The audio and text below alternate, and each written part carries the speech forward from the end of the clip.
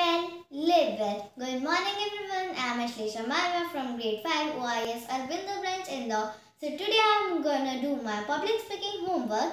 Uh, its title is Nutritional Crypt. So first of all I would uh, like to show my food pyramid which contains the necessary nutri nutrients in it. And today I am going to tell you about why balanced diet is important.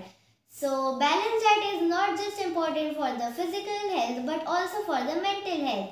Uh, balanced diet also provides the full energy to be active in the whole day. It, uh, it has the necessary nutrients that help uh, to help for growth and repair of our body. Uh, it um, it becomes uh, for us more healthy, beneficial and it also prevent us from falling sick and diseases many type of. So uh, eating junk food leads to obesity, poor mental health, poor physical health and now I would like to say uh, now I would like to tell you about my favorite dish. My favorite dish contains rice which has 80% of carbohydrate, dal which contains 22 to 25 protein per 100 grams of raw dal, salad which contains vitamin A and C. So thank you for listening patiently.